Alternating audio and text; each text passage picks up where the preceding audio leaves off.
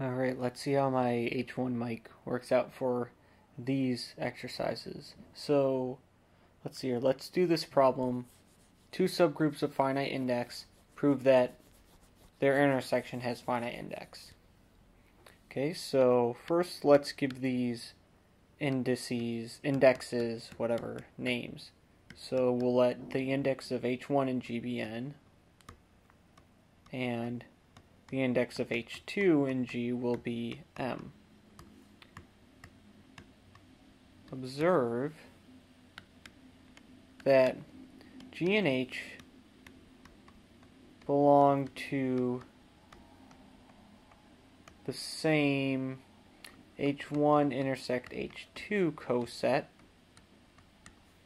if and only if G inverse H is in H1 intersect H2. Remember, those are equivalent conditions. Um, and this holds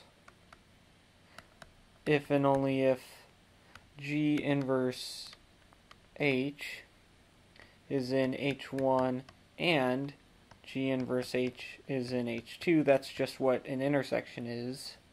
Um, and these hold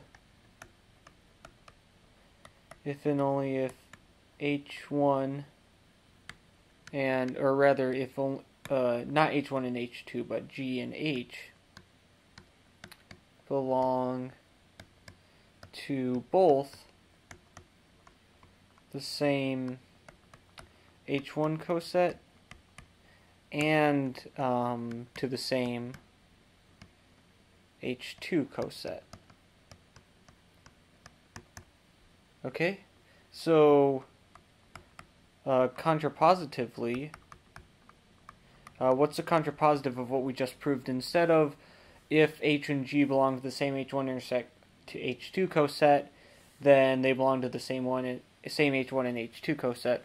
Uh, the contrapositive says that. Um, well, I guess it'd be contrapositive of the um, because this is an if and only if, you can just negate both statements. And that's what I mean by contrapositively here. So G and H belong to different H1 intersect H2 cosets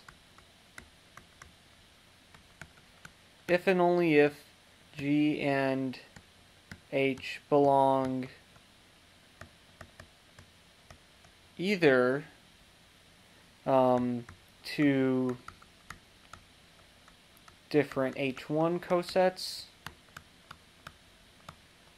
or to different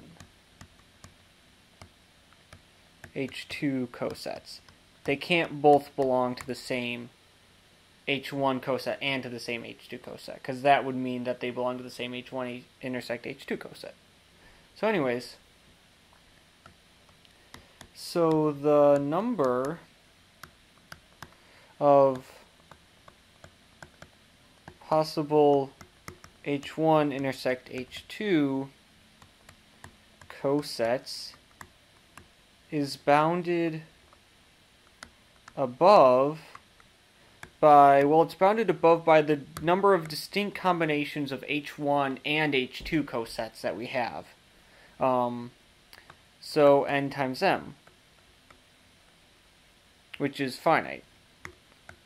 So hence, um, the index of h1 intersect h2 and g is less than or equal to nm, which is finite. And so there we go. That's all there is to this proof.